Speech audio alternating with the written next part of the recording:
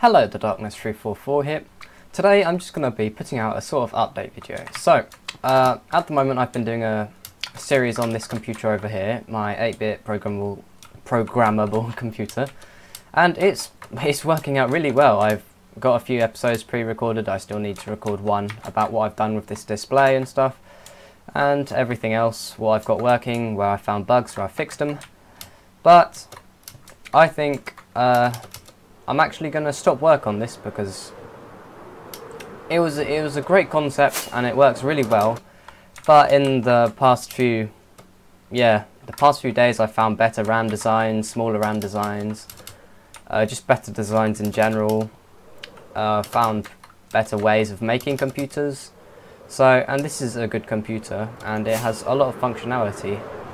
And it would be a cool computer because you have nice displays and stuff and you'd also be able to program it from an I.O. which I still haven't finished but and it'd all work in theory but yeah I've just decided that I'm gonna work on something different for now because yeah I may finish this at a later date I don't know actually but programmable computers are really cool but the problem is is they take up so much memory and then you have to and they also take extra commands because then you have to do special I.O. commands to program them and stuff. And it's quite annoying, and but it, it does mean you can compile programs for them with like a separate compiler. But yeah, it's just a bit annoying when it comes to it. So, uh, my, yeah, so for this new computer that I'm going to show off in a minute, uh, kind of got a bit of inspiration from a guy called Lego Master 99 who I don't think records Minecraft videos anymore, but when he did, he made a 4-core computer, which was pretty cool. It was in Java Edition, and I thought it was pretty cool. And I saw it like a, a few years ago, and I really wanted to make some sort of multi-core computer, so I have been making normal computers right now, but what's this? This is an ALU, isn't it? I decided to try and make a multi-core computer, so as you can see there's a lot of parts down here I've been working, this multi-core computer is way more advanced than any of my normal computers. So like, I've been working on dual read RAM, which is here. This is the design that I use. It's big, but it does the job. It's fairly fast. I was trying to work on a two wide one, but it didn't really work. I've been working on ALUs, so here's the ALU that I'm using in it and I've been working on instruction sets where this is a part of the instruction set that I've been using in it. So you have your counter, your display. This was a very, very, very simple computer and as you can see we have it right here. I'll show you it off in a bit but first of all I'm going to want to explain the instruction set and how it all works. So this is a 4-bit computer with the simplest instruction set I could achieve for it. It's as simple as I possibly could make. That means only eight lines of code. For, for whenever I do a very simple computer, I only have eight lines of code at minimum because four lines of code would be too little and 16 lines of code too much for a stupid, stupid, simple computer. then I have a display, but I haven't connected it when I built it because, yeah, who cares about displays? Uh, I didn't think I was going to be doing something that I'll explain in a minute. I have your ALU controls, your load into register A, register B, and give your output. I have your functions, where there's four possible functions.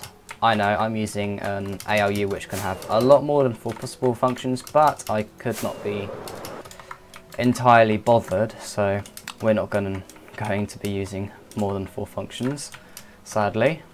We're only going to be using three functions, because 0, 0 would be no function. Uh, that's because I just want it as simple as possible just to demonstrate that it works. Then we get to these next parts. So I'm actually going to have to go into this computer to show you these next parts because uh, I changed the instruction set from that to here in a bit. So the I wanted to make this dual core, which I have, which is pretty cool, which I'll show off in a minute. But another thing that I decided while making that instruction set down there, I was like, oh hang on, but if I really want to use dual RAM and pipeline and stuff, I could use a dual data bus. So that's what I've done. And this dual data bus is, is a nightmare to wire. It really is a nightmare to wire. And if you look at the computer, it looks like an 8-bit computer. if you look down, look 8 bits. This would literally be the equivalent of an 8-bit dual-core computer, and it's literally almost the same size as one. But the main difference is, is that it's 4 bits because it uses two cores, two cores, two data lines. So here are the commands. So you have uh, secondary buses. I've named them secondary buses. They're not really secondary. They're basically the bus for your core. So each core has secondary buses and these buses will not be able to communicate or give data to each other. They're individual buses for the cores. Uh, so you have your secondary bus 0 and your secondary bus 1. That's cool because it means you have two secondary buses per core, which means you can do several things. Like, you can save to a cache while uh, writing to the ALU or something like that, who knows. On, yeah, you can save a number from one of the lines uh, to your cache and save your number from the other bus onto your ALU or something, who knows. I don't really know what you'd use it for, but it's very useful, so yeah, because you have so many possibilities. Then you have your secondary bus control. This is basically the control for these two because these are just your data points. You can just put data on it and stuff. These are just your data you actually need a control line, don't you, for them. So you have read and write commands. You have write 0, write 1, read 0, read 1. Uh, I've called it write and read because it's like RAM, but the difference is write means you can write onto the data bus, and read means the data bus you read from. So if we look at the read commands, they are linked up to here, and we, when we activate them, you will read data from that data bus into your ALU or your RAM or whatever. So I'm just going to fix that because I don't want to break it. So that's your read commands. Your write commands will write into this line. And the way you write is, it comes in this end. As you can see, it comes in right over here. And it's from your cache as well as your uh, ALU, which I think it's a bit broken, but I'm not too sure. I'll have to test it out. Actually, no, because you have your signal stoppers here. So I'll come to the cache as well.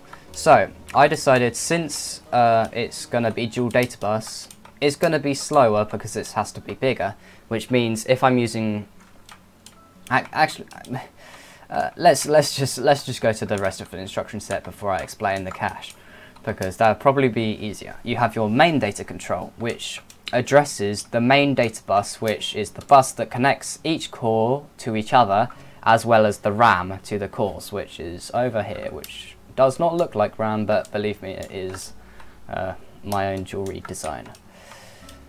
So that is the main data bus. And as you can see, there are two. You have write 1, write 0, read 1, read 0 so you can read onto data you can read from data bus 0 and you can read onto either line 0 I mean secondary bus 0 or secondary bus 1 that's the clever thing. It whenever you read from the main data bus you can read onto the line you specify. If you say read 0 it won't just go to read to uh, secondary bus 0 you can read onto whichever one you want. So that makes it a lot more compatible. And then you have a read one of course. Then you have write zero and write one, which basically writes whatever is on your secondary data bus of the core you're having the command on, it writes whichever one onto the certain one. And of course, you'd have to specify uh, which one is writing with the secondary bus control. Because if you put both of on, both of them on, it would corrupt the data because it wouldn't work properly. So I think I might have to fix this a bit more, but I don't know if that works fully, but I'll have to check it out. I haven't tested it fully yet, that's the other thing. Then you have your L1 cache, which I'm not even sure if it is a proper L1 cache, but it's basically a mini cache that stores uh, a nibble of data, so one cell worth of data, in per core, and uh, technically you could access it by the other core by saying, oh, write the contents of the cache onto the main data line. But it's generally just uh, for the core. It's, it's, it's very fast RAM, basically. It's, it's, say you're doing a Fibonacci sequence and you don't really want to uh, use the bandwidth of the main data line, or you just want to do it so it's as fast as possible, you would use the cache because it's very fast. Then you have your RAM controls, and a lot of RAM controls as you can see. You have your RAM commands, you have write bus 1, write bus 0, read bus 1, read bus 0. Read bus 1 reads whatever is on bus 1, read bus 0 reads whatever is on bus 0, and that reads into the RAM. To write to the RAM, you'd of course have to trigger the write command. The write bus 0, write bus 1, uh, these both decide which bus you're going to be writing the output to. So say if I wanted to read RAM 0 onto bus 1, I could just select bus 1 and read the cell that I want to read from. And of course it's dual read RAM, so you can read per bus. So I want to, so I could say I want to read 1 on bus 1 and I want to read 0 on bus 0, and I could do them both at the same time, which is pretty clever, and you can address which one you want to read. And it's only 4 nibbles of RAM, so 4 addressable cells, but it's enough for a simple computer like this. Then you have your RAM write, which is basically write under a certain RAM. It's only single write, so you can only write at once. But it means you can also write and read at the same time, because it's still dual read, which is pretty clever. Uh, I don't know what I just clicked on my mouse. uh, yeah, it's kind of confusing. So let's show you the cache. So the cache is over here, and basically the data comes down from your, uh, it's kind of hard to find, the data comes down from your secondary data buses and goes into your cache, which you can trigger to write with this line, which is the write command of course, which I still need to put a bit more delay on. I still haven't timed this computer properly, and this is just a D flip-flop, which works as a nice latching cell with a write command, kind of update and it basically goes back in and you can say write to the data bus when you want to write it. So yeah, that's basically your one of the cores and you have two of these cores and they are connected with a lot of busing. So in one of my videos, one of my next videos I will show you this off with some cool programs that show two cores running at once. This is a very very simple dual core computer so don't expect it to do much. It is the next video I'm going to do is probably going to be like something titled like, oh, first dual core computer in Bedrock Edition or I don't know. But this is a very simple computer, so don't expect the cores to be able to interrupt each other and stuff. In the future, I may make one. I don't know how I feel about that because it does take a very, very long time. So, yeah, especially with a dual data bus. I'd probably only do a single data bus if I was going to make one. I'd, I'd make it 8-bit and have a lot more program memory, probably like 32 or 64 lines. And of course, since this is so simple, it's going to be running off one clock. So the clock is it has one clock, so both the cores will clock on the same clock cycle. Which is limiting, but oh well, it's how it is with a simple one like this. So yeah, that's basically what it can do. Well, actually, what it can do. All it can do is add a minus b and b minus a. That's pretty much what the ALU can do, as well as shifting data around. But I guess you could do some pretty cool things with it, like the Fibonacci sequence. Uh, I don't really know what you do with it because it's so simple, but it's pretty cool anyway. And I can see, I think I am missing torches. I am missing a torch. Well, lucky that I found that. I need to clock it. I don't know why it's broken. Oh yeah, that's because there's no torches here either. There we go, fixed. Perfect, and I need one here apparently too. So, uh, I don't really know what I'm going to do with this computer. I'm going to probably try get my dad to program the a Fibonacci sequence onto it. But the big challenge is that I'm going to set him is he has to program it in less than five lines. Five lines is the amount of lines that a normal computer would take to do Fibonacci sequence. So that's a single bus computer. But since this is dual bus, you should be able to do it in probably less than five lines. I don't know too much, but hopefully he can. Uh, the next video that I'll do will be showing this off fully and yeah, showing off if he can do it or not. But yeah, so that's my plans with this computer. And it, I also do, I also make some program that uses both of the cores. So it'll probably do an operation on this core and this core at the same time, then save this one to RAM, load it from RAM into this one and add the two numbers or something. I don't actually know. It'll be cool. We'll find out. Who knows? But yeah, that's this computer and that's what I'm planning to do with it.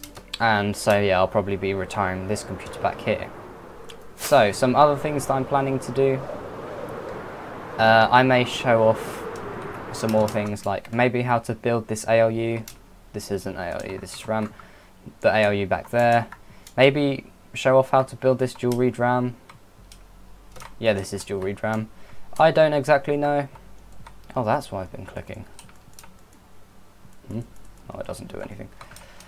Uh, because it's a nice dual read RAM that's in Bedrock Edition, and there's not really many dual read RAM designs in Bedrock Edition because they're all in Java Edition. Because I'm not sure anyone's silly enough to actually make a, a computer that's advanced enough to use something like this. So, uh, hope you enjoyed this video. Just a brief update on what I'm going to do. I may dabble a bit more in series, serial data transfer as well, but who knows. Yeah, please like and subscribe, and I guess I am out.